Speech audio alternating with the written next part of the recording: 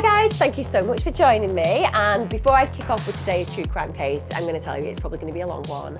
The research has taken quite a lot of time and I wanted to make sure that I gave some added value if you know this case. So stick with it because I'm sure you're going to take away some facts and information that you didn't know. Also, it's really close to my heart because we're talking about one of the victims being a baby. I have a baby girl and I may be a little bit obsessed anyway with the area of child safeguarding. So this is one that just lays heavy on my heart and on my head. Also, before I do kick off, I'm sponsoring my own videos right now because I've got my new merch. Um, Armchair Detective. Make sure you get this for Christmas. And also, I am loving my Chase merch. It's a cartoony of my actual cat Chase, who is just sat down here looking at me with his gorgeous, gorgeous green eyes going, Mummy, why am I not on your lap? So you can get hold of those. And just behind me, I've got my Serial Killer Next Door book. It's actually out in the States in the next week or so, but you can, of course, get it in the UK. Or if you like listening to my voice, the dulcet tones of my voice, then you can also get it on audiobooks. And thank you for all your support. It has been mind blowing becoming a bestseller, and I get introduced as a bestseller now when people interview me on the radio and stuff. And it just takes my breath away because I was never going to write a book, and you all asked and asked and asked, and you have been so encouraging. And I don't read my reviews. My sister is obsessed with reading my reviews. My sister is a really close friend of mine, but also she's an English teacher and she's the person who literally made sure that every single spelling was correct in the book before it went to the editors. She has been so helpful in this, but she is obsessed with reading them. And you have written some really lovely things. And of course, there have been a few people on there who have not read the book or listened to it and have said some horrible things, but it is totally outweighed by the love that you've shown me. So massive thank you massive thank you. If you do want to get a copy you can look down below in the description. There'll be a link there. And for those of you who don't want to spend the money on a hardback there will be a softback coming out in about three months time.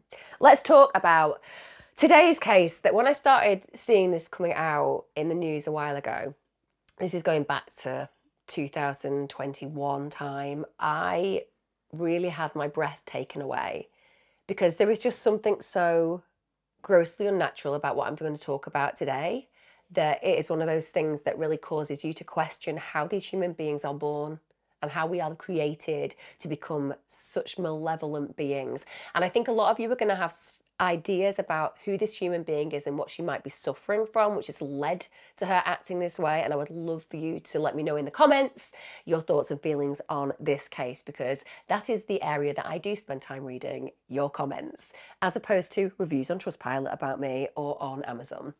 Let's talk about Taylor Parker. So, when Taylor Parker announced to her friends, her family in the world that she was pregnant. This is back in January 2020. Her then boyfriend, Wade Griffin, and also those who were close enough to her to celebrate, they were thrilled. She got two children already. She was apparently a decent mother. And whilst her relationship history had been, shall we say, turbulent in nature, she did appear really happy. She seemed excited that she was expecting again. And for those of us who have had the joy of being pregnant, it is an exciting time. You are thinking about the future. You're going through those feelings if you've got a partner where you're sharing this journey, even though obviously as a woman, you're the one dealing with all the symptoms and the swell feet and the morning sickness. But it's an exciting experience for you relationally as well because you're starting a new chapter as parents. And she shared countless pregnancy photos. She shared her due date. She posted her ultrasound scan. This is the world of social media now, isn't it? No, we share these things with our closest friends and also just a bunch of people that we met once, maybe at a night out, and now have become a friend on Facebook. But she's doing all of those normal, regular things that a mum to be is going to do. She went to doctor's appointments and she was constantly talking about her pregnancy. But around July to September time, it feels like there is a change in her behavior. And people who knew her said that there was almost an obsession with her pregnancy. Now, again, some women who are pregnant go through a nesting period. I'm sure that a lot of you will relate to that. And if you haven't had a baby yet, or if you're a guy and you're listening to this, what we talk about nesting is as you come into the end of your pregnancy, you often have this complete bizarre desire to just totally clean your house from top to bottom. You're like, what I really need to do at 35 weeks pregnant is clean every drawer. And reorganize them and label things and vacuum pack clothes that I haven't worn for the last six months. It becomes like an obsession for some women, and that's because you are literally nesting. You're creating an environment that is as zen and organized as possible so that your baby is going to be safe. So, a lot of women have that. Most of us go through it, but some individuals get almost obsessive. So, it could have been that that was happening to her. She was going through the psychological shift of preparedness of being a mother. She's facing imminent birth. But if that were the only obsession that she had, you know, she's online searching for lots of things related to babies, that would make perfect sense. But those searches aren't the only ones that she's doing. Aside from her just doing those normal types of searches, such as making sure that your bag's prepared for your labour, etc., she's starting to look up information about how to fake being pregnant. And even worse, she's looking up information about how to carry out a cesarean section. Now, I get it. People look at different things online. I look at things that are sinister at times, not illegal, by the way, before anybody jumps on and like, Emma Kenny's been on the dark web looking at sinister things. What I'm talking about is gory things. It's just part of my makeup. I am one of those individuals who wants to confront things at times, and that's led me down paths where I've seen things that's relatively traumatic. So I appreciate we all have different search levels on our computer and on our phones. But the last thing as a pregnant parent that I would do is to search cesarean sections, as in a home cesarean section. Why would I even need to do that? Even if you're in a scenario where you're going into labour by yourself, the last thing you're going to be doing is carrying out some kind of home cesarean section. So that seems a little bit questionable. Also, she starts to connect online a lot with other mums who are expectant. Now, again, people will say, well, that's not too odd. You know, you're pregnant you want to meet other pregnant mums. It's an opportunity to connect with people who are going through a similar experience. But there is an obsessive quality, and it's not like she's trying to forge and form relationships with these individuals. It's more that she's trying to figure out who is pregnant and who is a mum to be in her area. So it gets to around September 2020, and people who knew her said, listen, one thing that really stood out is that she seemed to be more interested in other people's pregnancies as opposed to her own. And there was almost a stalking element to her following other women online who were indeed pregnant. Her search has therefore introduced her to one of these pregnant women, a girl called Reagan Hancock. She was 21 years of age. She was 34 weeks pregnant. She was living in New Boston, Texas. She was familiar to Parker. And the reason for that is they'd crossed paths, they weren't friends. There was some kind of connection that had unfolded where Parker was going to take some photographs of Reagan, something to do with an engagement or pregnancy. It never happened because basically Parker said that she wasn't well when that was going to occur. But there are not people who know one another very well. They're more people who are aware of each other. There is no bad blood between them, but there is certainly no solid connection. Now, by October 2020, Parker's pregnancy is causing, shall we say, some suspicion. It's becoming an issue for people who know her. They're starting to question whether she is indeed pregnant. And even her boyfriend and his family members are getting really suspicious. Her due date seems to be approaching, but as far as they're concerned, she isn't showing those typical signs of pregnancy. But of course, she's resolute. She's absolutely convincing everyone no, I'm about to give birth. So, on October the 9th, 2020, that's exactly what happens. All those people who had the concerns about her not being pregnant, well, essentially they're going to realize that she must be because at 11:30 a.m. that day, she gets stopped by a Texas state trooper in DeKalb, Texas, and the reason for this is she's speeding, her car's driving erratically, and when he pulls her over, Parker is present saying she's just given birth. She says that she's been by the side of the road and that she's given birth to this newborn baby and the baby is in distress. Now, the emergency responders immediately rush to the scene. But it feels like from the very get go, some of them are concerned about inconsistencies in her story. One of the reasons is that one of the first responders is looking at the baby and thinking, not that convinced that the baby has been born in the car.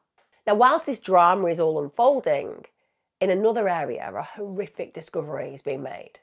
21 year old heavily pregnant Reagan Hancock has been found by her mother, Jessica Brooks, in Reagan's home in New Boston, Texas. Now, on the morning of October 9th, 2020, Jessica, her mother, had gone to Reagan's house. She wanted to check on her daughter. She was heavily pregnant at the time. She was concerned because she'd been trying to contact her. She'd actually been calling, she couldn't get in contact. She ends up calling Homer, who is Reagan's husband, saying, Look, I'm really struggling to get in touch with Reagan. And Jessica was so concerned for Reagan that she actually stopped at her granddaughter Kinley's daycare on the way to visit Reagan because she thought to herself, look, if Kinley's there, it'll be okay. There'll be some reason that I can't get in contact with Reagan, but it'll be okay. But if she's not there, I know something is really wrong. So she arrives at the daycare centre, goes and speaks to one of the workers and says, Look, I'm just checking in on Kinley. The daycare worker comes back and tells Jessica, Kinley isn't here. And in that moment, she felt that dread rise in the pit of her stomach. And what I'm talking about here is something that in my field, let me tell you, and I know because I've been called into question by one of the authorities that I used to have over my work because we pay insurance and subsidies to particular organisations. And I specifically left one organisation because they called me into question for saying that I believe that intuition is really powerful in therapy. I'm with the BACP still, which is an amazing organisation who fully understand that intuition and instinct are powerful human experiences. They're warning systems. But I actually left another organisation because they called me into question over saying that instinct and intuition are important. They actually said that they weren't and challenged me on that. And I thought I cannot pay any dues to an organisation who's meant to be schooled in psychology who pretends that our God given instinct of intuition is not powerfully important. And what I'm talking about now is Jessica, Reagan's mother's intuition as a mother to know there is something badly wrong with her daughter. There is something off about what is playing out right now, and she knows it. At that point, she's so worried, in fact, she nearly stops at a police station to go and report that she knows something bad is going to happen. But her husband, Marcus, who she's speaking to at this point in time, he says, Listen, just get to Reagan's, check on Reagan. I cannot even begin to compute what Reagan's mother went through. I really can't. She arrives, and the first thing that she sees, bear in mind, she's already hyper aware that she thinks something bad has happened to her child. And then she's met with streaks of blood on the driveway. So she gets out of her car and sees this, but then she says to herself, you know what? They have dogs. Dogs cut their paws all the time. Dogs leave streaks like that all the time. Reagan and Homer have got dogs. She's trying to just say to herself, it's okay. I'm just letting my imagination run wild. But then she sees more streaks on the driveway and in the garage as she approaches the door. Then, something that she notices that takes her breath away is a bloody fingerprint on the doorknob. Now, Jessica's clever because most of us in this moment, when we're already dealing with the worst fear in our mind potentially playing out, you're not necessarily thinking about crime scenes. You're just reacting. But Jessica has this absolute instinct to take off her work shirt and to turn the doorknob because obviously that's going to prevent her fingerprints ending up on there and also going to retain the integrity of fingerprints that may be there already that are incriminating for somebody else. Now, as she turns the doorknob and as it opens, she sees a bloody shoe print. She hasn't quite opened it enough for the true horror to play out, but now she knows, without a shadow of a doubt, something dreadful has occurred. And then, to her absolute horror, she sees her daughter. Her daughter's on the floor, face down. She's got her arm over her head. She's facing away from her. Apparently, her blonde hair was just soaked in red, which clearly was blood one of the things that her mother, even in that moment of absolute horror, recognized was that something was wrong regarding the house. It looked really disheveled. The kitchen was a mess, and that was not the way that Reagan and her husband Homer kept their house. They kept the house very clean. Jessica said, I know at this point my daughter's dead. But in spite of that, she's saying, Reagan, Reagan, it's mama, talk to me, please. Of course, Reagan doesn't answer. At that point, as reality starts to dawn, she gets on the phone and she calls 911. Hysterical, she apparently said, Somebody's murdered my baby, she's dead, there's blood everywhere. She begs them, somebody needs to come.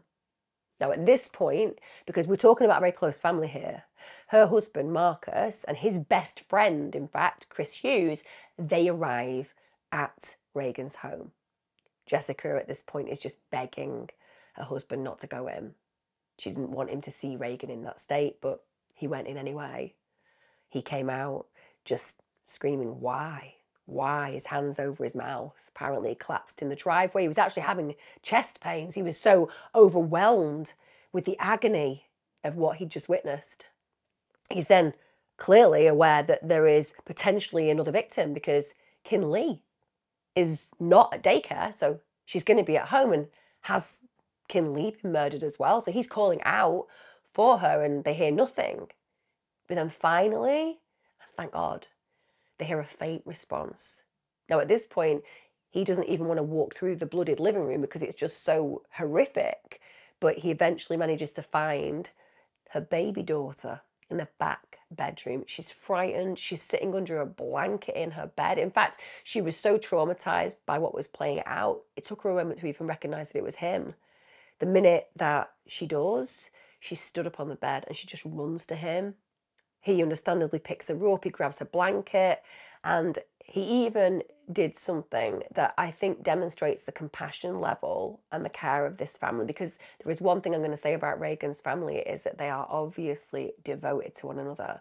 And in traumatic situations, it's really hard to keep your head on. I have been through the most traumatic experience of my life when I found my father after his suicide. And I can tell you, any belief in myself regarding how I can deal with those moments dissipated. I was not what I expected to be. And it's really hard to compute the world around you when something so unholy is playing out. But this family are thinking about one another's protection throughout. So you think about Jessica saying to Marcus, her husband, don't go in there because she wants to protect him from the scene. And then he has managed to go and get a baby daughter. Now he actually covers her baby daughter's head with a blanket because he wants to protect her. He wants to make sure that Kinley's last moment of seeing her mother is not her face down in a kitchen covered in blood. He then brings her out the front door.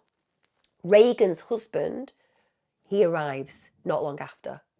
Now, bear in mind, Reagan's husband has got a heavily pregnant partner who he adores and who now he knows something terrible has happened to apparently there's a struggle that goes on because all that Reagan's husband Homer wants to do is to go and be with his wife.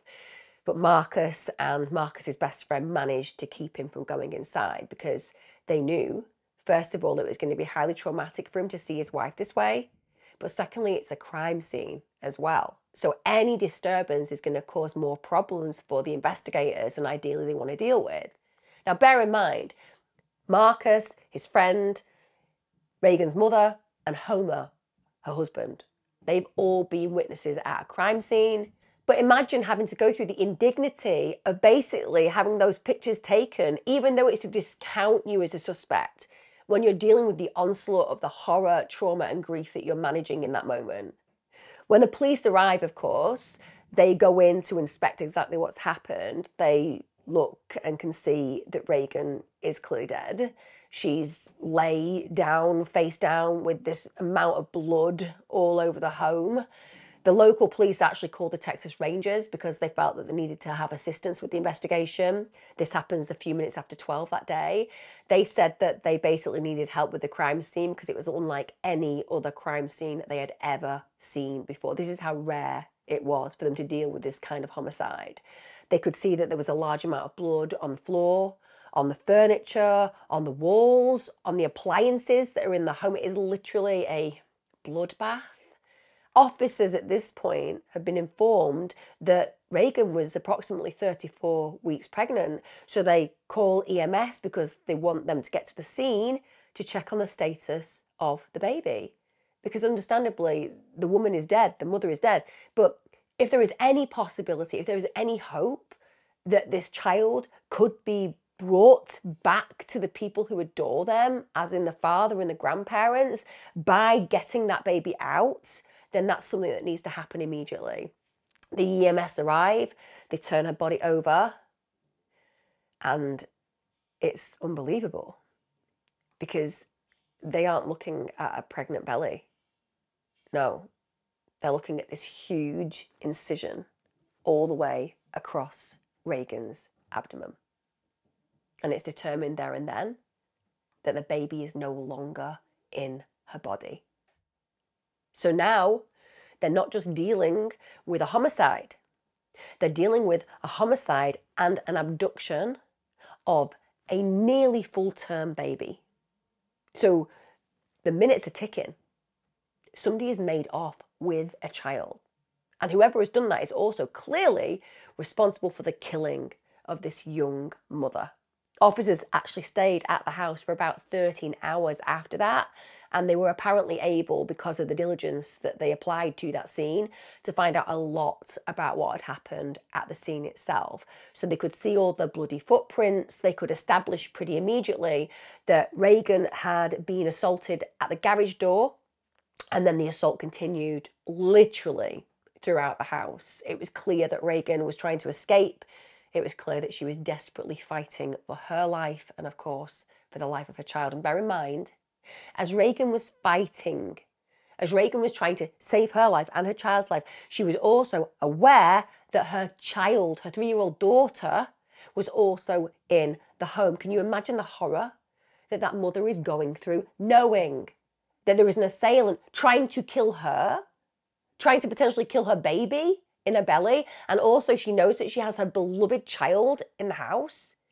I cannot even begin to conceive of the agony of that woman's thoughts in her dying moments. She apparently put up a really, really big fight. And as her baby was literally being pulled from her belly, she was fighting. She was fighting hard. In fact, when the baby had been removed, they believed that she tried to go after the assailant, but because of the horrific injuries that she'd suffered and endured, she died. So let's talk about the victim, Reagan Simmons Hancock, a young mother at the very beginning of her life, 21 years of age, who, when I say was drenched in love by her family, I mean that entirely people get lucky sometimes in life. And obviously, I'm talking about getting lucky with the turn of events that we're talking about now, which is to also be the most unluckiest person in the world. But I'm talking about when people are lucky to be born to people who truly unconditionally adore them. That's Reagan Simmons Hancock's life. Her family literally doted on her, and she doted on them. She was born on November the 14th, 1998. She was born in New Hope, Arkansas.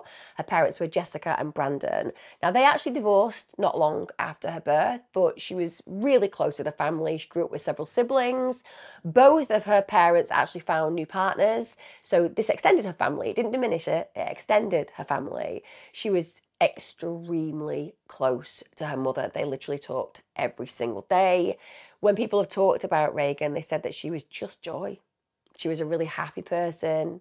She was said to have a real heart of gold. She was somebody who found it really easy to become fast friends with you. And that's something that works on one level for people because there is nothing more wonderful than meeting somebody who's just open hearted and makes you feel really comfortable and makes you feel safe in their space and just is willing to let you in.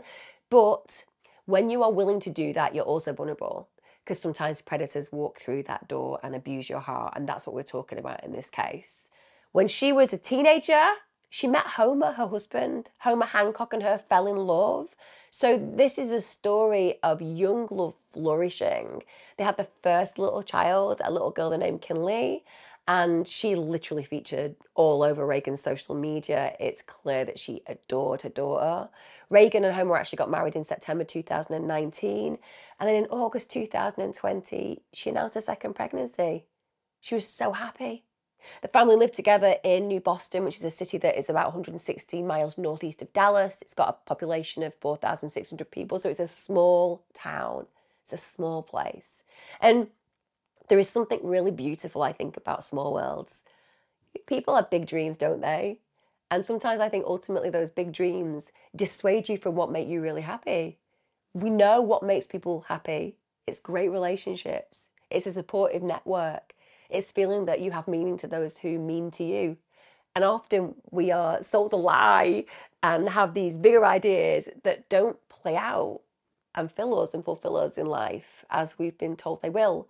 But it feels like Reagan was living that small community, big heart, full of love life, and it was working so well for her. She was so excited that she had a second child on the way. She came from an incredibly loving and close knit family. Her parents were Jessica Brooks, and she also had her stepfather, Marcus Brooks. They were deeply involved in Reagan's life. They provided loads of support, loads of care. They were excited about her second baby as well. So the family have this incredibly tight bond. And one of the things that Reagan clearly inherited from her parents was that they were very family orientated and that they as a unit all connected and spent a great deal of time with one another. The fact that we are talking about somebody at the very beginning of her life being excited for her future, it's so sad that we're covering the demise of somebody so full of potential. She was warm, she was vibrant, she cherished people, she was radiant, she was really nurturing. These are all the words of people that knew her. And one of the things that people said about Reagan was that she was just absolutely dedicated to being a mother. She was absolutely invested in her little girl and she couldn't believe she was having another baby girl to welcome into the family. Those joyful updates that she shared on social media, the showcasing of her pregnancy, was all about being excited. It's all about the hope and love that she had for this growing family.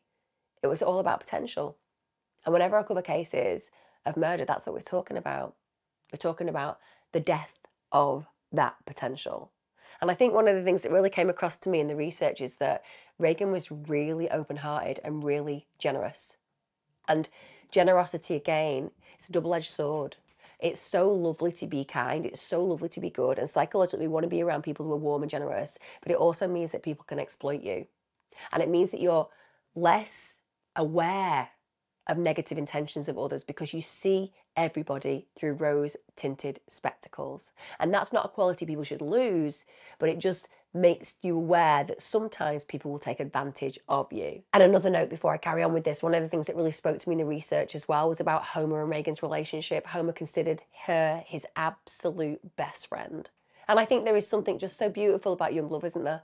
When it works and when you connect and when you find each other early and you share that history, it can mean that your relationship can go on to be really, really strong. So here we are in a situation where one mother has just gone through an absolutely traumatic birth in her own vehicle by the side of the road, and another mother has lost her life in the most traumatic of circumstances. And this has happened in quite a small radius. And there's another interesting connection because Taylor Parker and Reagan kind of know each other. They're not good friends, but they've moved in the similar social circles. And also, Taylor Parker was meant to take some engagement photographs of Reagan but this never actually happened because apparently Taylor Parker was ill at the time. That relationship, therefore, means that they were on relatively friendly terms. But like I said, this photography session was the real reason that they got to know one another. It allowed Taylor Parker to ingratiate herself into Reagan's life. It meant that she could build trust. They could build a kind of friendship because she was posing as somebody who liked her and wanted to do nice things for her. And of course, they were both pregnant at the same time. And anyone who's been pregnant and knows somebody of a similar age framework who is also pregnant is kind of cool because you think, you know, we're going to share similar experiences. We're probably going to move in the same network. And it's kind of nice to be nice, but they're not firm friends. They just kind of know each other. And the fact that Reagan is such a lovely, open hearted person, it's not hard for Taylor Parker to insert herself to some degree on a level in Reagan's life. So let's just take a moment to look at who Taylor Parker is because, guys, wow. It is unusual for my breath to be taken away by a kind of character that I explore and research in these cases, but Taylor Parker did it. Where shall I start? I guess we can start with the understanding that Taylor Parker was a very complex individual. She had a troubled history, and most of that troubled history comes from her deception, her manipulation. I would say there is an absolute instability in her nature. She was born to Shawna Pryor and Mark Morton. They were together until 2005, and after they split up, the couple split custody at first. So Taylor and her younger brother, Zachary, they stayed in the family home and her parents actually switched every other week. So they did 50 50 custody and they made sure that the children had a secure base and were familiar to their environment by basically moving out of the home every other week so the other parent could come home. Her mother said that that arrangement didn't actually last very long because her ex husband didn't take the split well and he really struggled with the idea of leaving, which is the problem. You know, if you're doing 50 50 custody and your ex comes and spends a week at home and then won't leave, you're going to have an issue. So she said that then led to some escalation, shall we say, in front of the kids. So the parents were fighting in front of the children, which is not ideal. And this meant that the children would end up going to her mother's house when it was her turn to look after them. So she would take them to the grandmother's house so they didn't have to deal with that conflict. So whatever was going on with the parents is not ideal, but clearly mum, in this case, tried her best to minimize the impact on the children. Apparently, the children were not forced to stay at the grandparents if they didn't want to. And when Taylor didn't want to go, she would actually go and stay with her father or go to his mother. So she had that option. Taylor's mother said that because of that, because they didn't want to force the children to go where they didn't necessarily want to go, Taylor Parker ended up spending more time with her father, and her brother spent more time with her, their mother. And Parker's mother said that Peggy was one of those women who basically used food as comfort. So Parker actually started to do the same and she starts to gain a lot of weight when she was around 13. Now, by the age of 14, she'd actually weighed at this point around 250 pounds and she was really unhappy about this. And what we're talking about there is obviously a symptom of unhappiness. She's emotionally eating, she's filling herself with food to accommodate maybe a sense of loneliness and emptiness inside. And even though that works in the short term because it makes you feel full for a temporary amount of time, it doesn't emotionally keep her going. So now she's got the issue with whatever she's dealing with emotionally which is clearly unhappiness, sadness, loneliness, but she's also dealing with what she looks at in the mirror and she's not happy with her 250 pound self. At this point, Taylor Parker drops out of high school and she actually gets pregnant just after turning 17. So she carries on with that pregnancy. She has a daughter. The father of that child was not at all involved in her life. Her mother didn't actually recall how Parker and her baby daddy related because she didn't really see him during the pregnancy or after the birth. So she didn't have a comment about what he was like in Parker's life. But what we do know is in 2014, Parker was so unhappy with her body that she actually went to Mexico, had a gastric bypass. And this is because apparently a doctor said that her obesity was starting to cause heart problems. Then we get to 2014. She's had that surgery and she ends up marrying a guy called Tommy Wakasi. They have a son together. After the birth of her second child, Taylor opted for tubal ligation. Now, I think that's really strange. Genuinely, I appreciate that every woman has a right to do whatever she wants with her body. But I think when you're having your tubes tied at an early age and you've only got a couple of kids, you don't know how you're going to feel down the line. Look at me. I'm an elder mum. I had two boys when I was young and I'm old now and I've got a baby girl because you're not quite aware of who you're going to be down the line. But for whatever reason, she decided that she wanted tubal ligation. Her mother wasn't told about that, so she kept it secret. Now we get to August 2015, and Taylor Parker ends up having surgery because she was having pelvic pain, she was having bleeding, and they were able to confirm during the surgery it was endometriosis, but also she was having an ectopic pregnancy. Now, the doctor at this point recommended a hysterectomy. Bear in mind, she's under anesthesia, so that decision was made for her by her mother and her husband. I can completely understand in that moment it's all about saving the life of a parent, not being too concerned about the future, but it must be very debilitating if somebody makes a decision over you having a hysterectomy that you don't want. I also will counter that by saying if she's had her tubes tied, then we can understand that the doctor's going to think she doesn't want any more children and this is going to be the best for her in the long term. Now, Taylor Parker did express a bit of anger about having a hysterectomy. Apparently, she was planning on having more children, which feels a little bit rich if you've had your tubes tied, because clearly she'd elected to not have any more children before. But now it's been taken out of her control. She's decided, oh, actually, I did want to have more children. But as I said, that doesn't make sense when you think about her history.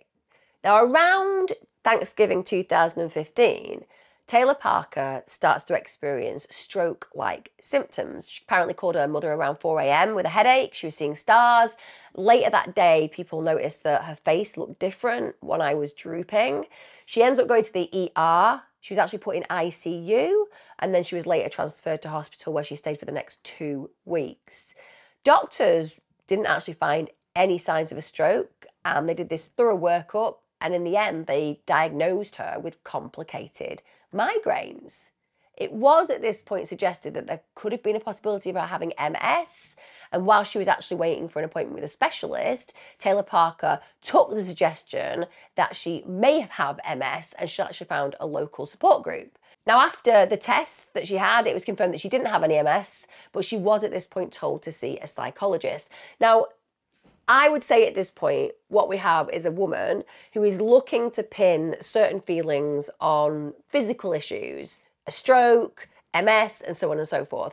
And I wouldn't say it's completely uncommon that we are struggling with our psychology and want to make it physical because we think physical symptoms can be managed. And often we can't compute that psychological experience can make us feel physiologically unwell often we believe that they are two separate things. They're not. Your brain and your body is connected, and what happens up here affects down here. So it makes perfect sense that when you've gone through a litany of tests and nobody can find anything wrong with you, that you are referred to a psychologist because it is unbelievable the kind of things that mental health can cause on your body. Stress alone can kill you. But the fact that she's seeking out support groups, the fact that she's looking at ways to stand out for a condition suggests that there is a potential within her that she wants some kind of visibility. She maybe believes that her life isn't amounting to what she wishes it to amount to, and she wants to stand out in certain areas and arenas, whichever area, arena that is, whether it's good or bad. Now, Parker and Tommy end up divorcing. Tommy was given custody of their son, and he later down the line said that Parker was ordered to pay child support, but she never paid a dime to him. Not long after they divorced, Parker met Hunter Parker. At this point, they married, and according to Hunter, she never told him that she couldn't have kids. Now, she had told some of her friends that she couldn't have children, but she changed her story here. She didn't say that she had a hysterectomy during routine procedure. She said that she had uterine cancer. It's another lie. So she wants to amplify the issues that she's struggled with. And also, when somebody tells you they've had cancer, you take it really seriously, particularly a young person. You're like, that's so unfair. And it builds bonds. It's a quick way in where you feel sorry for somebody, understandably and rightfully so, and you want to hear their story because you're interested and intrigued about what they've been through. In April 2019, her marriage to Hunter ends. Bear in mind how quickly these relationships are ending. The turbulence and toxicity is absolutely clear and abundant in her relationships. At this point, Taylor Parker begins dating Wade Griffin. They'd apparently met at a rodeo in July 2019. They started talking through social media. They very soon get into a relationship. Now, whilst this is happening, Taylor Parker is in financial distress. So in late 2019, early 2020. So she's out there making big purchases that she can't afford. So she's putting them on credit cards. So she's lying about money at this point. She's also creating this idea about who she is as a human being and that she comes from wealth and she's got property in her family.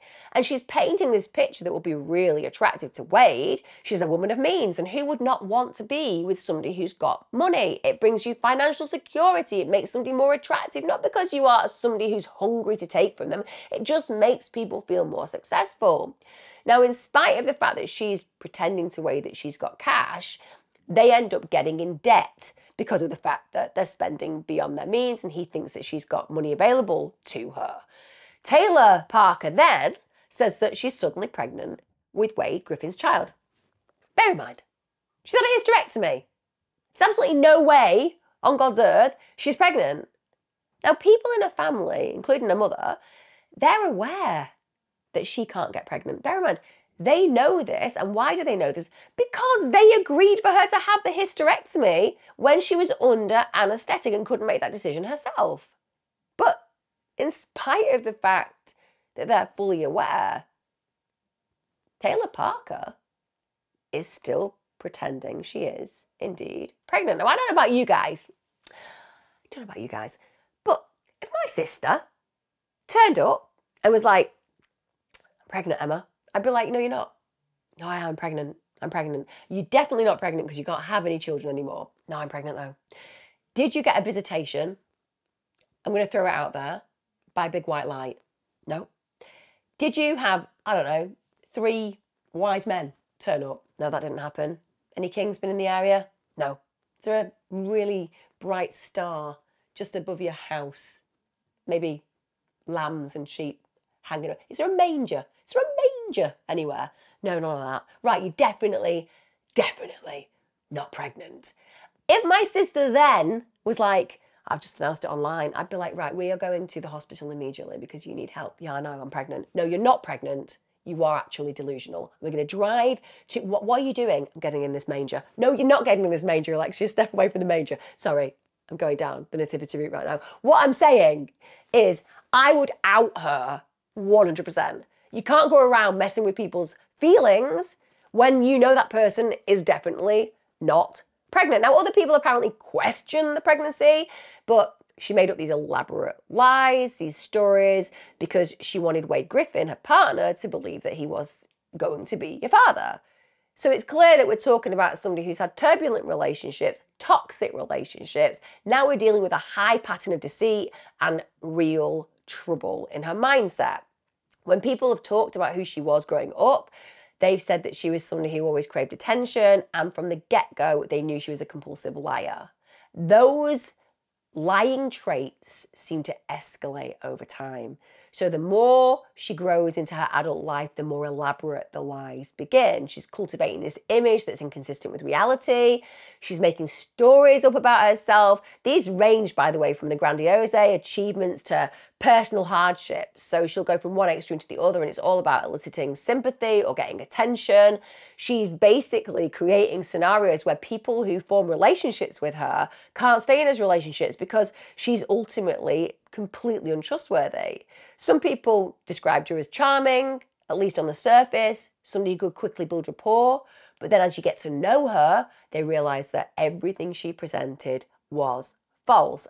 And that's fundamentally why she's always losing these relationships because no one wants to be around her. Now, in spite of the fact that people know that she's not actually pregnant, because it would be impossible for her to be pregnant, Wade Griffin, her boyfriend, he thinks she is. And he's eagerly anticipating the birth of his much wanted child. And Parker is good at using these lies. She's very effective at lying, even though people find her right in the long run. For a short period of time, she can create these scenarios and make people buy into it. She's manipulating his emotions, she's getting him prepared for his imminent fatherhood, and he's completely on board. But of course, she's aware that there's going to be D Day. There's going to be the point where she either presents him with a child or he realizes that this has been a lie. And it's not as if she can pretend that she's miscarried which she has done in previous relationships many times. This time, she's gone so far that if she were to lose this child, well, there would need to be a death certificate, there would need to be an actual funeral because that's what happens when you're past a certain pregnancy point. So she has cut it real fine now, and she knows provide this child imminently, or the house of cards is going to topple. So now, with all this mounting stress and with no baby in her belly, with this all just totally fabricated, with Wade, her boyfriend, waiting for his baby to be delivered, she's got the reality of her inevitable exposure occurring. And so, recognizing that everybody is going to be aware that she's a liar, she decides, instead of just to face the music, Instead of to say, you know what, I have been conning you. Because that's an option, right? You can just confront truth. You can just say, I am a liar. Hey, you know what? Leave the area. Just up and go. You can do all of those things. But she doesn't want to. She's so bought into this fabrication.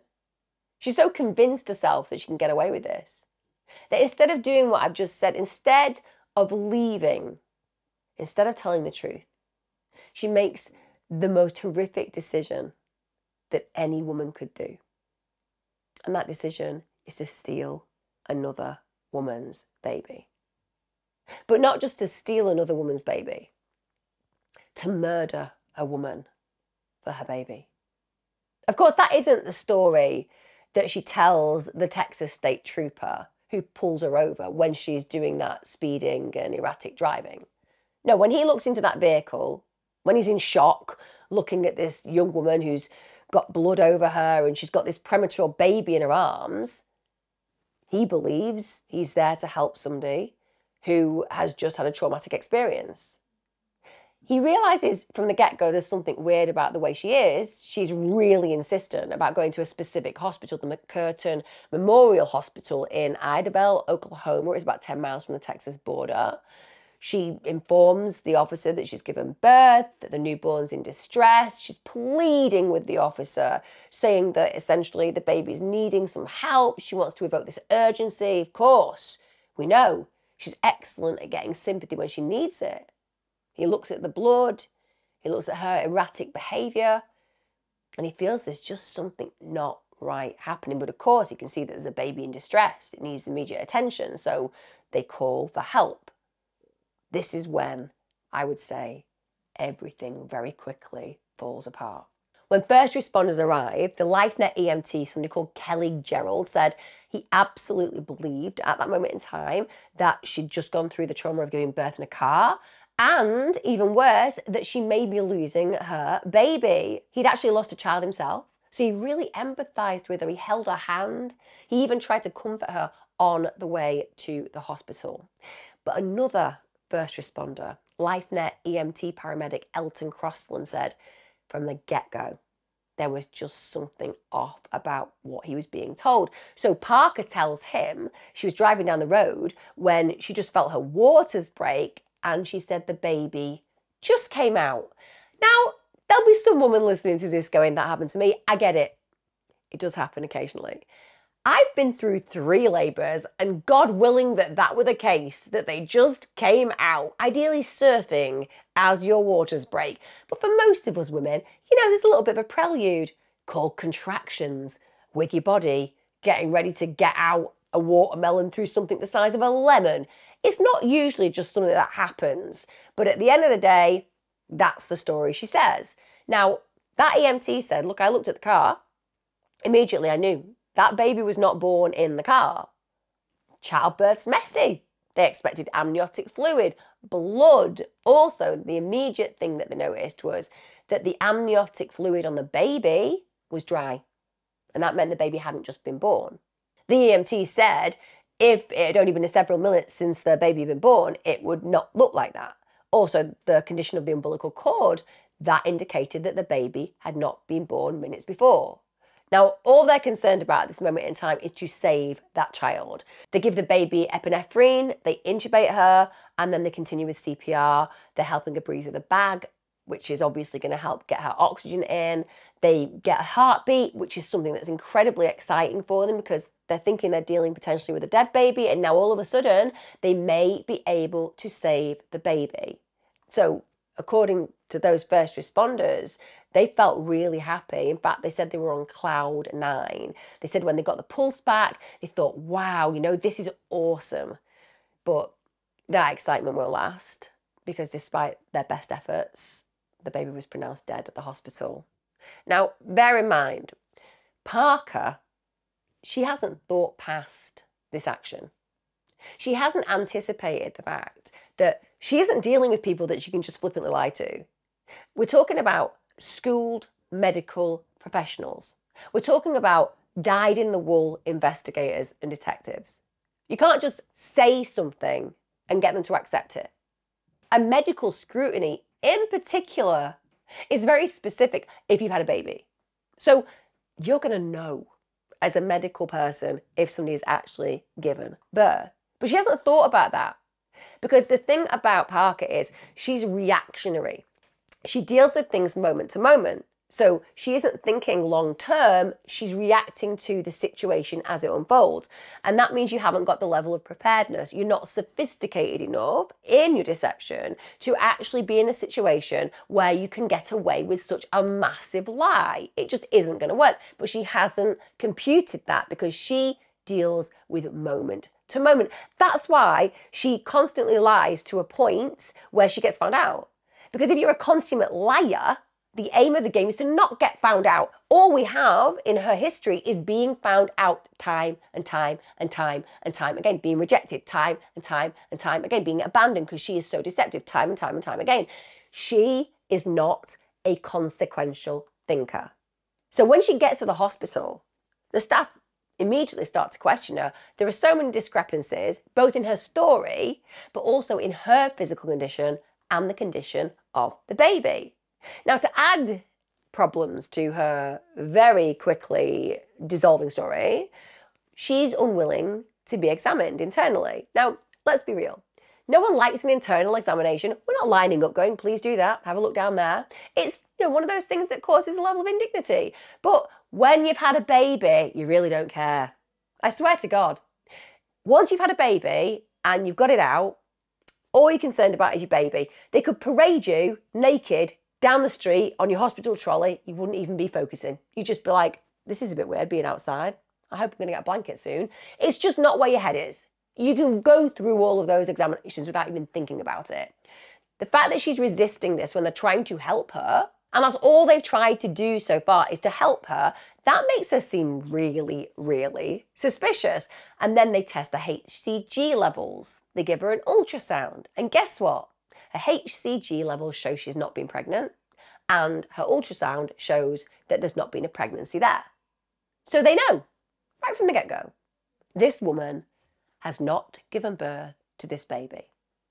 And that means that there is a baby who should be with a mother who is not present with that parent because this woman is pretending the child is hers. So this has created this whole change in how serious this issue is. Now, detectives who attend the hospital, they know. They know that there is no way she has had this child. But of course, they have to go through the motions of asking her what happened that day. Now, bear in mind, at this point, they've also heard from others that 21 year old Reagan had been found murdered in her own home. They know that Reagan had had her womb sliced open and her baby stolen. But they have to humour Parker at this point. They ask her if she went into labour at the side of the road. She affirms that this is the case. She says elaborately that her partner Wade was going to go with her, but he'd been caught up at work. All the while, the detective knows she's lying. All the while, he's looking at this woman who he knows has slaughtered potentially another young woman and stolen her baby. I'm just going to be upfront with you. I've been talking to the DA down in uh, Moody County, and they've been working on a case down there. And we know that you had a hysterectomy some time back, and that you've claimed to be pregnant for a while, but that you really weren't. So trying to figure out where this baby came from. But you didn't give birth this morning. What do you What do you mean? That's what I just said. You didn't give birth this morning. And we want to know where this baby came from. So what happened? I just told y'all what happened. Okay. What's the doctor gonna find when he comes in and checks you? Is he gonna find you just gave birth? Uh, they can tell. When he looks, he can tell in about a second if you gave birth or not. Okay. There's no way you could have been pregnant. And, I didn't hurt anybody on the side of the road. well, I'm not saying you did. I'm just saying that there's a there's a woman that had her baby removed from her body. Her body's found on the side of the road. I didn't say you did. I just want to know what happened, where this baby came from. He starts to ask her questions about the internal check because she's resisted it. And it makes it very difficult for her because at the end of the day, you've got nothing to hide and they just want to check that she's not hemorrhaging after all. Why would you resist? He also notices that she's got blood all over her hands. So the hospital staff are very cleverly manipulating her to say, I have to agree to this because if I don't agree, it's going to look really weird. I've got blood all over me, which could suggest that I'm hemorrhaging, and yet I'm resisting having an internal. So reluctantly, she agrees to have the internal. At this point, before it happens, she's asked by the detective what she'd had. And she tells him she's given birth to a little girl called Clancy Gale. Bear in mind, all the while this is being asked, that detective knows she is lying. And he just says, I know you haven't given birth because I know you've had a hysterectomy. And that means you are not the mother of this child. Now, in that moment, there's nowhere to go. Literally, she's banged to rights. They know that she's not had the baby. They've got the medical evidence that she's not had the baby. They know that a woman's been murdered somewhere without now having a baby present with her because that baby's been taken. And yet she just carries on saying, Well, that's not true. I have given birth. But the detective then says, Listen, we found a woman who's been murdered. We found a woman whose baby has been cut from her body. Again, at this point, Taylor Parker just goes quiet, but she acts like she doesn't know what's going on. She's then examined. The doctor confirms she's absolutely not had a baby. And the detective at this point says, Look, we know you are responsible for the murder. We know, in fact, that now you're responsible for a double homicide because the baby has died as well as the mother. Now, the detective is very clear from the get go. You are responsible. Right now, the DA down there who I've talked to believes that you're a cold blooded killer and that you plotted for the last eight months to kill, to murder this woman and steal her baby. And right now, the evidence is there. They can prove it without a shadow of a doubt that that's what happened. They can prove that you murdered that woman. How heinous is it? Some woman, uh, you know, everybody's happy, they're having showers, and then somebody comes along and cuts her damn baby out of her gut. That's what we got right now. And that's what you need to understand. That's the point where we're at. We're past all this nonsense about, I wasn't there, I didn't kill nobody. We're past all of that. We know it. We know you did it. There's no doubt whatsoever. Now, of course, Taylor is just steadfast in her lie. She's saying that she doesn't know what's happened to the baby. She had the baby, that she doesn't know the woman that they're accusing her of harming, even though they've got links. So that lie will be exposed again. So, like I said, no consequential thinking. But the detective keeps making it clear that she's guilty. She finally accepts, at that point at least, that she'd been involved.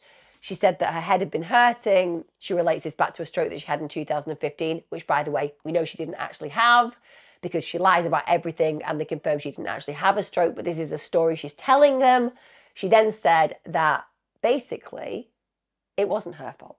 And this is where, like I said, when somebody is a liar and they're not prepared for the next lie, so they're just doing it on the hoof, they cannot string something together with logical sense. They can't do it and it becomes wild and bizarre. So, this is a story that Taylor Parker tells. She says that Reagan had actually allowed her over to her home. Apparently, she needed to take a shower. So, Reagan had said, Okay, come over, take a shower. And at this point, Reagan, from nowhere, gets into a physical altercation with her. Reagan, who is heavily pregnant, decides that she wants to have some kind of physical dispute with Parker. So she and Parker start fighting. But of course, it wasn't Parker who initiated the violent assault. No, no, no, no, no. It was Reagan. So she's clearly trying to frame this situation now where she's just gone round to have a shower and ultimately Reagan has caused this horrendous scenario to unfold that she had no knowledge was going to play out and she was just some kind of blameless victim. Now, on one level, this is an attempt to say there's no premeditation, that she hadn't gone round there to do anything awful, and that she therefore cannot be framed as somebody who's taken part in a first degree homicide.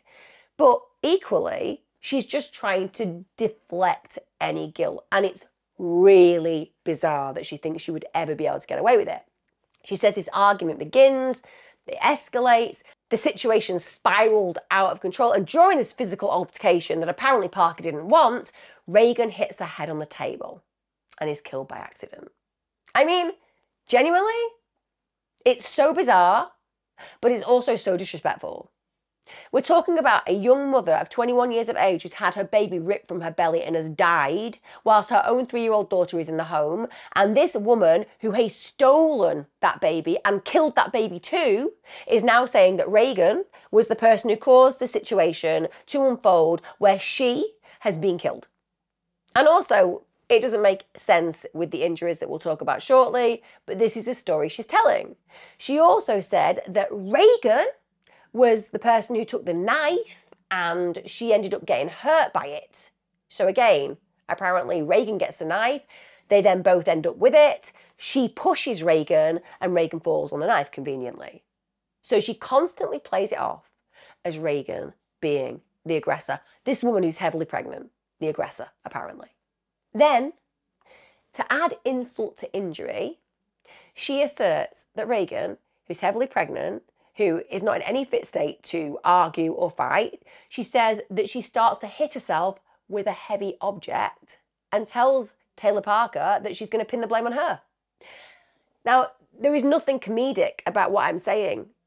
If we were talking about this in some kind of fictitious comedy, then maybe that would be funny because of the fact that there is no way on God's earth that some woman is going to be getting a heavy object, hitting herself on the head to damage herself beyond repair so that she could blame some other person in the home, even though she's never going to get that to play out because she'll be dead.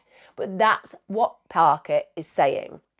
Then Parker actually tells the detectives that apparently Reagan begged Taylor Parker to save her baby as she knew she was dying. Can you even begin to compute what I've just said? I mean, can you imagine hearing this as a detective? So let me just get this right. You're saying that you went round to the house completely peacefully. Yeah. And then let me just get this right again. You're saying that Reagan came to the door. She did. She came to the door. And then what did you argue about? I haven't really thought that far ahead. It's just an argument. It's some kind of like argument. It's just an argument. What specifically did you argue about? Again i i like i want to tell you exactly specifics but i can't because it was just so it was so left field. I wasn't prepared for it. So when it happened i just don't remember anything. But you do then remember exactly what happened after that. Yeah i do actually. Even though i don't remember anything about what escalated the situation and caused the argument in the first place i do remember that i was trying to like you know de-escalate because i'm a really good person. But unfortunately reagan are we talking about reagan who was really heavily pregnant yeah, that one. So she just goes wild and she ends up just hitting me and I'm just defending myself and then she just falls on a table and she hits her head and it's like a really serious injury but then she thinks like I'm really angry with Taylor, so I'm going to pick this up and I'm going to hit myself in the head. And I'm saying, like, don't do that to yourself. And she's like, I'm going to do this to myself so I can blame you. And then there's a knife, and I'm trying to get the knife off her because I'm a really good person. And then she falls into the knife. Sorry, are you injured? Are you injured at all in this? Are you injured? Because it sounds like it's a really serious altercation. Are you badly injured at this moment in time? No. I don't know why, but apparently, even though all these things are playing out, I just defended myself a bit like some kind of Marvel superhero. Anyway, she's really badly stabbed, and then she's lying on the floor and she's caused all these injuries to herself. And then she's like, Please take my baby. So I took a baby. So the woman who apparently is that angry with you that she is trying to harm herself to a point of near death with a heavy object is now begging you to take her baby. Do you know what I'm going to go and do now? No. We've got this new machine. It's called the human lie detector. Okay. Okay, well, I won't need to go in there because I'm not somebody who lies. Yeah, well, that's good because we would like somebody who never lies to go in. And if you just walk through that door over there, just walk through the door. This door, yeah. It's just this door says incinerator. Mm hmm. Does it? Yeah, like it says it says incinerator. I think there's actually like a little temperature gauge, and the temperature gauge is like, well, it goes off at a thousand degrees C, and it just looks like it carries on. Yeah, well, just walk through that door, and um, we'll have somebody come in and see you later. Go on then. Go on. Anyway, that didn't happen. But you know where I'm going with this? It's ludicrous that this beautiful young woman, desperate for her second child, is begging Taylor Parker to take the baby. Sociopath does not cut it where this woman is concerned. And the fact that she says to the officer, I don't know what's wrong with me during that conversation, I think we can all have a guess, can't we? Massive psychopath, just going to throw it out there. Massive psychopath. Now, bear in mind, all of that took place when Reagan's three year old daughter was with her. And also, another thing that the police realised was that Parker went round to Reagan's home with three knives in a purse. Absolute premeditation. But to be honest, they didn't need that evidence anyway because the forensic evidence absolutely painted the most sinister and deliberate picture of this killing. It was clear that Parker had meticulously planned the murder. Like I said, she brought tools with her. She'd come to Reagan's house with a scalpel, which she clearly used to cut Reagan's abdomen to get the baby out. Reagan suffered the most brutal assault. It showed that she, as I said earlier, fought for her life. The blood splatter alone showed that she was desperately fighting, but she got multiple blunt force injuries consistent with being hit with a hammer. When they did the autopsy, the violence she endured was staggering, literally staggering. It was clear it was a brutal and premeditated attack without a shadow of a doubt. So, as I've mentioned, she had multiple injuries to her head. The autopsy also confirmed the large incision in her abdomen, and that cut was made very crudely with a scalpel that was how then Taylor Parker forcibly removed the unborn baby from Reagan's womb. It wasn't made in a medically precise manner. That meant that it caused additional bleeding, additional damage. There was clear defense wounds on Reagan's body. It was obvious that she fought for her life. And those wounds evidenced just how desperately she attempted to resist Parker's assault. Now we get to October 2020. Taylor Parker at this point faced several charges due to the utter brutality of a crime. So she was charged with capital murder, that was for the killing of Reagan Hancock during the commission of another felony, which was stealing Reagan's unborn child. Then she was charged with kidnapping, that was for the abduction of the baby that she forcibly took from Reagan's womb. There was tampering with a corpse. That was obviously due to the gruesome manner in which she attempted to extract and abduct the unborn baby from Reagan's body. She went ahead, in spite of the overwhelming evidence, to plead not guilty. Honestly, so Parker's plea, because she said she was not guilty, that set the stage for a trial, which is going to be highly traumatic for the family of Reagan. And again, it's indefensible as far as I'm concerned. It's clear that she killed this young woman and also her baby. So the defense are basically going for this route where they're saying, look, this wasn't actually a long-term scheme to steal a baby. It was just a result of a chaotic, impulsive act. So they're genuinely trying to portray her as this mentally unstable woman where she's had this psychological breakdown in this moment of desperation. And of course, they have to go through the fact that she had a history of lying, both about previous experiences in life, also about being pregnant, and saying, well, you know, she's always lied.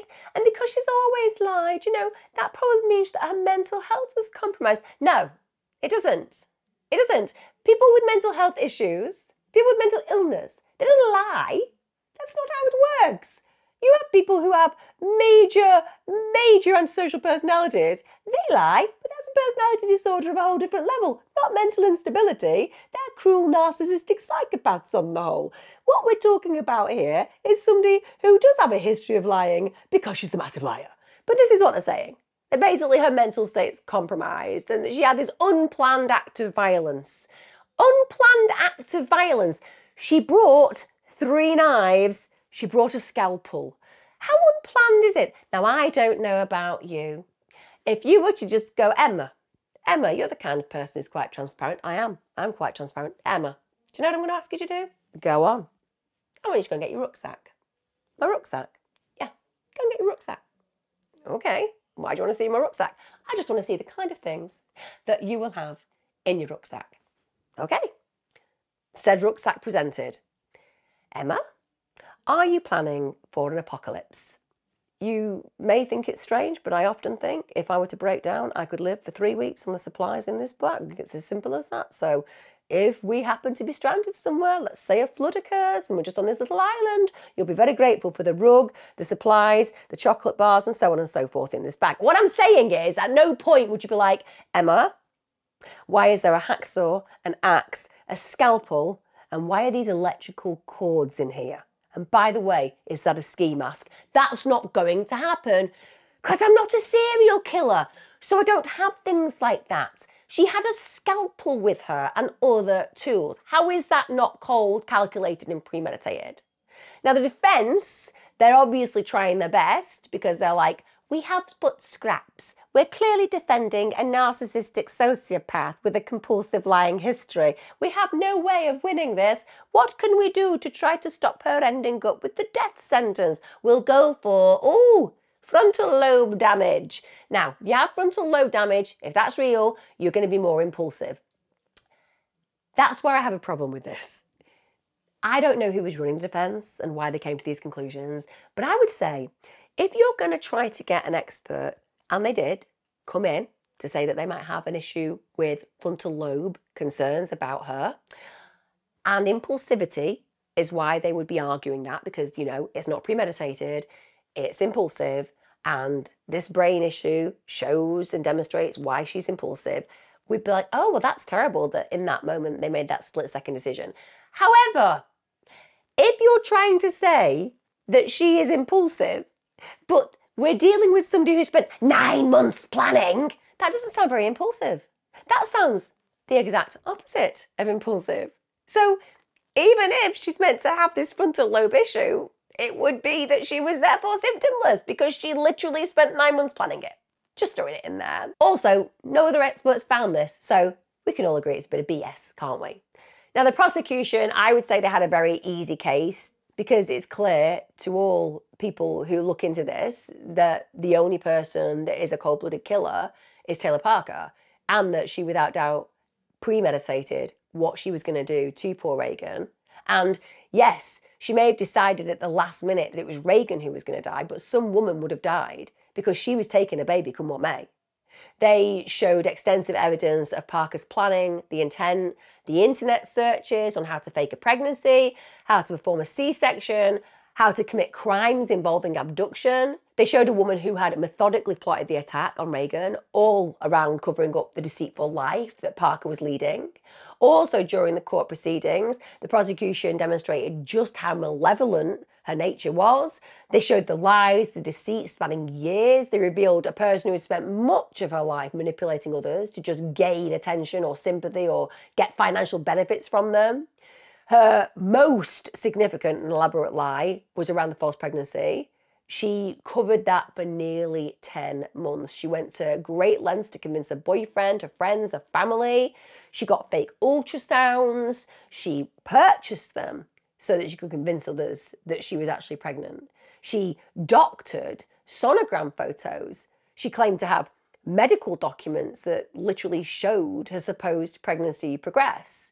She even wore a fake pregnancy belly so she could create this illusion of a growing pregnancy. I do find it weird that Wade, her partner, didn't realize because I think our partners see us naked all the time. But I guess she could just have pretended she wasn't maybe interested in intimacy during that period of time. When you're pregnant, you don't always have a great sex drive. And she could pretend that she didn't like her body, so she wanted to cover up. So I would imagine she could have got away with it that way, but I still think it's really strange. Witnesses actually said that they had seen her at various stages of pregnancy and they genuinely had bought into it. They didn't realize it was a facade at all. All the social media posts that she put out there. This is what the prosecution are using. They're saying, don't tell us that this is something that's not premeditated. She has maintained the lie in an adept manner, spanning months before carrying out this murder. And they brought in information that she fabricated pregnancies before. She'd told family, she'd told friends, she'd told multiple romantic partners that she was pregnant in the past. Each of these pregnancies ended with various fabrications, including things like miscarriage or complications, all of it about trying to garner sympathy and attention. She was somebody who desperately wanted to be the center of attention at all times. And also, when you look back at her history of medical issues, the prosecution brought in all the health conditions that she claimed to have that again were fake. She told people that she needed surgeries that never happened. She manipulated people into giving her emotional and financial support because it worked for her.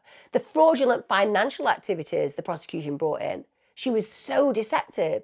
She got track record of engaging in lots of different schemes to defraud people. So in the years leading up to the murder, she was involved in check fraud. She issued bad checks to people, bad checks to businesses. She had false bankruptcy claims. That was in 2019. She literally lied about her financial status. So she's quite happy to deceive people on multiple levels. She even lied about her background. I mean, she fabricated the craziest stories. She was telling people that she was related to really rich people, that she was really successful. She lied about owning property, about having wealth, even though we know she had financial woes. But this was all so she could keep up this idea of a stable and successful life. And when you think about Wade Griffin, her boyfriend, he was lied to enormously. She fabricated so many stories. She created an entire narrative around their life together, including, of course, the fact that they're meant to be expecting a child. She misled him into absolutely believing that she was pregnant and that she was going to give birth in the months leading up to the murder. And she lied about various medical issues, about the visits to hospital, about the absences at work. She'd even told people that she was an heiress and that she had an oil fortune worth millions of dollars. She went as far as putting in offers on expensive properties, one worth millions. And this was all by leveraging false claims that she was wealthy and creating this illusion that she had these significant funds. She even gave real estate agents fake documentation and references. So, this is what the prosecution had built up. This is a woman who had gone out of her way, yes, to create an absolute fabric of lies, but she knew exactly what she was doing. This was a woman who wanted to be seen as special and she didn't care about the consequences. It was about her justification in the moment. It was about wanting what she could get in that second. So, yes, she wasn't sophisticated, but she never intended to be because it was just about getting whatever that was important to her in the second that she could get it. And think about a psychopath. That's what they do. They see what you have, they want it, they cultivate a situation where they can achieve it. Now, none of you are going to be surprised to know that the jury was unconvinced by uh, Parker's awful defence, and she was actually found guilty of capital murder in October 2022. Now, wow, when it came down to the victim impact statements, they were absolutely devastating beyond devastating, in fact. They were so emotionally charged and they were delivered by Reagan Hancock's family. They expressed their absolute pain, their loss, the horror, the loss of future over the murder of Reagan and of her beautiful baby. Her mother, Jessica, she delivered one of the most poignant and heart wrenching statements, and she directly confronted Taylor Parker. She described the sheer horror of discovering her baby daughter because I know that Reagan was 21, but for her mother, she's a baby daughter. That's her little girl. And she had to discover her body broken and savaged by Taylor Parker. She said, My baby was alive, fighting for her life when you tore her open and ripped her baby from her stomach. She also recounted the moment that she found Reagan in a pool of blood and she just painted this really vivid and tragic picture of the impact that Parker's actions had had on the family.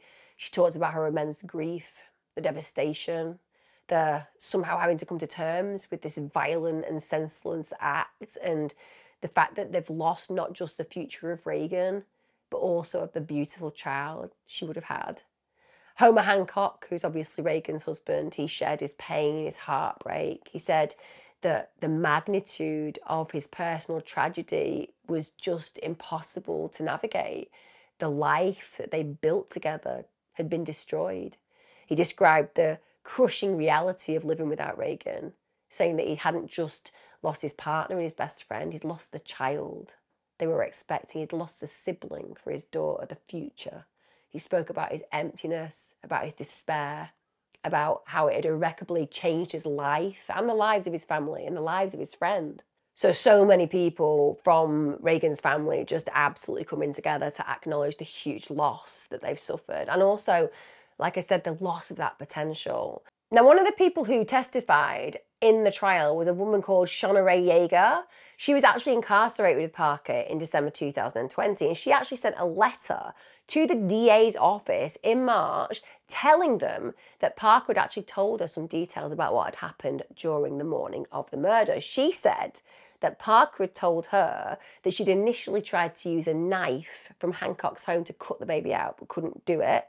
She then went to a car. So imagine this protracted attack and walking out of the house, going and get a scalpel from a medical kit in her purse, to which she then finished the job with.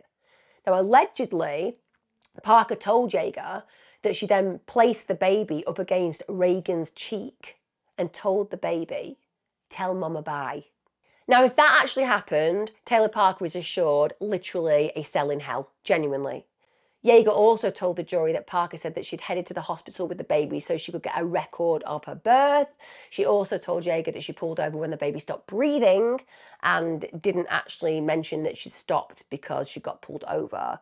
She said that she took the cord into the pants and that the EMS crew assumed the baby was her. Now, I will say that that testimony was questioned by the defence because she'd sent the letter when she'd been hoping to get probation reinstated but she didn't actually receive anything in return for that information. And I can imagine that a woman, whether you're somebody who's incarcerated or otherwise, would be really moved by some woman telling you that information and knowing that some woman had lost her baby and lost her life in such a horrendous way and you had information about that. I'm not saying it absolutely is truthful, but I just wanted to point it out because if she did that, if she murdered Reagan and then put the baby to her face and said, say bye to mama, that demonstrates a level of depravity and horror regarding her personality that is almost incomparable in the world. We're talking the kind of human being that is the most dangerous to our society. Now, during the trial, Taylor Parker said that she had been told of her right to testify, but she didn't take the stand because she isn't going to, because she come across as a massive liar. And you won't be surprised to know on October the 3rd, 2022, this is after less than an hour of deliberations, Parker was convicted by a Bowie County jury of capital murder by terror threat or other felony. Following that conviction, she would either be sentenced to death or life in prison without the possibility of parole. Now, during the sentencing hearing, prosecutors made it very clear that they were seeking the death penalty. Parker's defense team asked for life in prison. One of the things that the prosecutors pointed out was that just a litany of bad behaviour and criminal acts committed by Parker since her actual arrest. On the stand, Idabel Police Department Detective Johnny Voss gave his testimony. He said that he had to pause to gather himself as he described his confusion and his anger at seeing what appeared to be a healthy baby die in hospital. He recalled a nurse who was just crying as the baby was hooked up to machines, barely keeping the baby alive. After he was told the baby wouldn't survive, he literally had to leave the room. The nurse stayed with the baby so she wouldn't die alone. Prosecutors also showed a jury a photo of the baby laid out on the table, still intubated with wires attached, and people were heard crying in the courtroom. Dr. Christopher Mason, he testified that Braxlynn would have been born completely healthy under normal circumstances. Also, the supervisor of the jail's medical staff also took to the stand. They talked about how Taylor Parker's medical calls and visits to the hospital were really problematic, and they started soon after she arrived at the jail. She said that Parker had been the most frequent visitor to sick call she'd ever seen, and also one of the most difficult prisoners she's ever seen. She said it's been quite challenging. Sometimes we have to go down the rabbit holes to find information on her, and sometimes at the end of the rabbit hole, we don't find anything. In addition to sick calls at the jail, Gilchrist, who was the person I was just talking about, the supervisor, she said that Parker had been taken to Wadley Regional Medical Centre at least 10 times after complaining of various symptoms from tightness in her chest and shortness of breath to vomiting blood. And she also said she had a bleeding ulcer. And every time, Gilchrist said that Parker received a full battery of tests and every single one of them came back showing no medical issues. After one visit, Parker actually claimed it was because of her crime that one of the doctors refused to treat her. However, that was clearly not the reason. It was that her medical records showed nothing was found. Parker also claimed a history of multiple sclerosis, stroke, pulmonary embolisms, as well as a rare blood clotting disorder. The doctor said, yeah, she has none of those. Gilchrist also recounted how Parker repeatedly indicated on medical forms that she did not have a history of sexual abuse, it's one of the questions that they ask. Although she did mark yes on a question asking whether she felt she was at risk for sexual abuse or assault in the jail. But then three months later, Parker demanded access to mental health counselling and claimed for the first time that she did have a history that included sexual abuse. Also, Gilchrist testified that in April 2022, Parker started to claim that she was hearing voices, but those have miraculously seemed to resolve themselves. So, like everything she could have had since she's gone to prison, she's had. Also, to jail medical staff, Parker was constantly aggressive. In one incident, she got mad, kicked the door, and said, I'm not putting up with this shit, and left. In another incident, Gilchrist heard Parker tell a male inmate waiting outside the medical room who basically complimented her on her looks. She said, You obviously don't know who I am and what I'm capable of. Well, what you're capable of is killing a vulnerable pregnant woman. Hardly a threat to a male inmate, but that again tells you of this woman's mindset. Gilchrist also said that Parker filed a false complaint against a nurse at the jail, claiming that she basically didn't get any medicine. So, jail policy was ultimately changed once again to require that two nurses be in the room at all times when dealing with Parker. So, she's a real problem for them. Jurors were also told by more corrections officers that they had really problematic interactions with Parker. So Parker accused corrections officer Amber Monk of threatening to cut her throat and using a racial slur. Park had also been known to threaten other officers with grievances and legal action. So this means that some of the officers were so scared that they let her get away with things such as possessing contraband because they didn't want to get into trouble. And Parker was also said to have a really apparent fascination with coverage of her trial, which demonstrates the same kind of mindset as somebody who's a serial killer. They're so egocentric that even though it's about them in a negative way, they just can't help but be interested in what's being said about them. So, this is why the prosecution are painting this picture. They're basically saying, look, this woman has gone out of her way to do things like attempt to frame a fellow inmate for murder, possession of contraband, manipulating, threatening, and bullying corrections officers and jail staff into allowing violations of security protocols. She's got a history of faked sick calls. She's a woman who we cannot trust even when she's incarcerated. So they're saying, as a prosecution, life in prison is going to give Parker way too much opportunity to scheme and to cause chaos in jail. Let's kill her. That's basically their argument. Now, Parker's mother, Shona Pryor, she was the first person to take the stand in her daughter's defense. She talked about how difficult her childhood was, her weight issues, her medical conditions. She also told the jury that Taylor Parker loved her children, that she was a good mother. Well, are you a good mother when you steal from the womb of another? I would question that. She said that basically the children love Taylor Parker. Again, whilst they don't realise that the mother's a heinous murderer. Also, the jury was shown several pictures of the family. There were played several jail calls between Taylor Parker and her children. And yeah, Taylor Parker was nice to her kids on the phone, told them they should get a good night's sleep, etc. But that doesn't make up for what this woman has done. And don't get me wrong, her mother also acknowledged that Taylor Parker had this really long history of lying, that she was a manipulator, that she was somebody who went out of her way to cause pain just to get what she wanted. And one of the things they said was listen, you know that Taylor Parker was saying she was pregnant, but you knew that she'd had a hysterectomy. But her mother said, yeah, but I genuinely didn't think that I was being manipulated. What? She admitted on the stand that she knew her daughter wasn't pregnant, but she didn't think she was being manipulated. What? She said she knew she wasn't pregnant. We knew she wasn't pregnant. There was no need to come up with a plan. We figured the lie would be exposed. He would figure it out. I tell you how a lie is exposed. It takes two people to lie. So if one person refuses to continue that lie, it gets exposed. Why didn't you pick the phone up? Chain of causation. Clearly, Taylor Parker's mother's not responsible for what she did to Reagan. But I'm telling you this if she had outed that lie, Wade wouldn't have gone through the distress of realizing he wasn't going to be a parent, and Reagan's family would still have Reagan. So you don't say it's okay for this daughter to just not be accountable, not be responsible, carry on a lie to a point where somebody dies. That's when it's going to get figured out. That's horrific. She did say that she agreed her daughter was blameful for the crime, but still, what did she do to prevent that crime? Nothing. Turns out that Taylor's mum and new husband have actually won custody of Taylor Parker's daughters, but at the end of the day, Like I say, I really struggle with the fact that they think just letting time pass so that in the end the pregnancy would be exposed as not being real. That's not good enough. They allowed her boyfriend Wade to have his feelings played with and the family to all be aware of the fact that she was apparently pregnant when they all knew it wasn't real. Why didn't they confront that situation? Now, over 26 days of testimony, jurors heard from more than 130 witnesses, some of them more than once. And during closing statements, prosecutor Kelly Crisp said the circumstances in which Reagan died are horrible, and there is no doubt it was torture. But a mother died fighting for her child. That's how she left the world. A woman who died fighting. She slashed her hundreds of times, said Crisp, who showed a photo of the crime scene to the jurors. She beat her with a hammer. You're going to say she's not violent? She ripped her uterus out by the back. Look at what she did.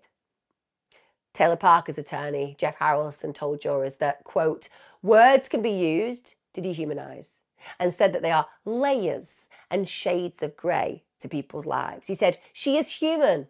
I would question that, but this is what he's saying as a defense.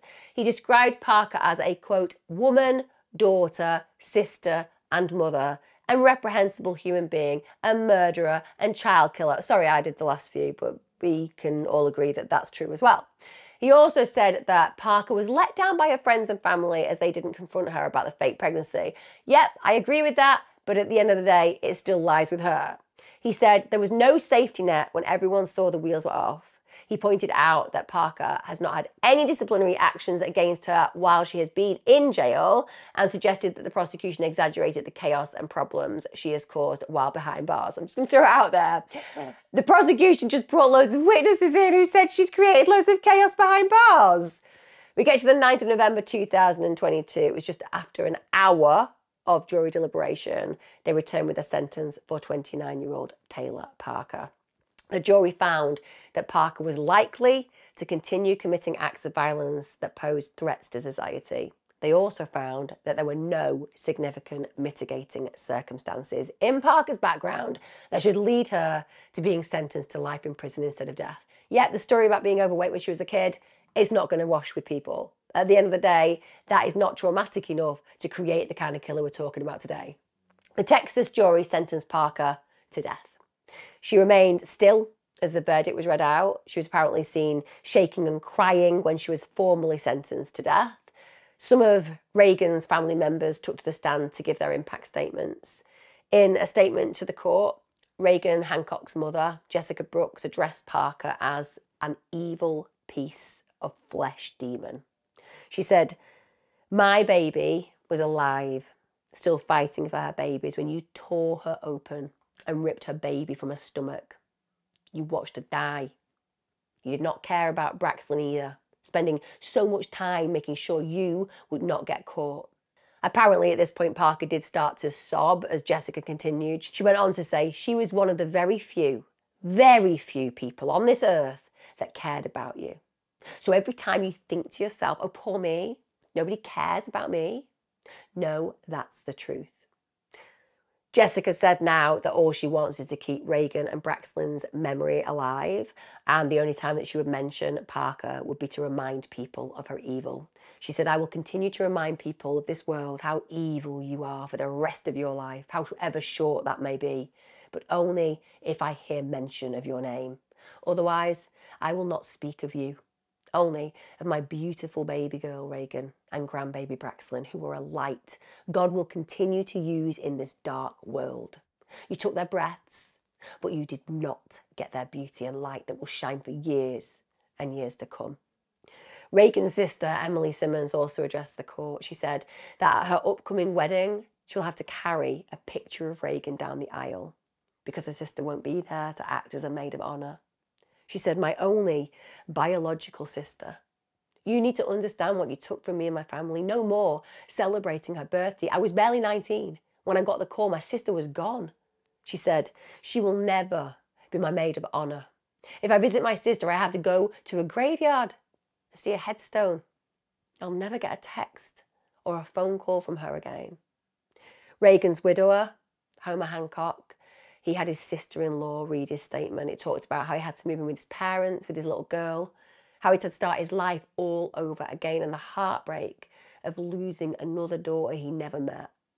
He said, The first time I got to hold Braxlynn Sage, she was cold and lifeless. I will never see her eyes or hear her say, I love you, Daddy. After listening to the victim impact statements from Reagan's family, Judge John Tidwell told the bailiff, You have been found guilty of capital murder and punished by Texas law to death. I formally sentence you to death. Take her to death row. So the judge had no issue with the jury's decision. In death row, by the way, Taylor Parker will spend 23 out of 24 hours a day inside a single person 60 square foot cell. She's only allowed four visits a year. This will be done behind glass, and she'll have four calls a year for five minutes each. What I'm saying there, guys, is she's going to have a lot of thinking time, isn't she? She's going to have a lot of analysis time. And she's not going to get to cause chaos because there aren't going to be people around her to cause chaos with. I don't know what your thoughts are regarding the death sentence. I'm always very conflicted. But what she did to Reagan, what she did to Braxton.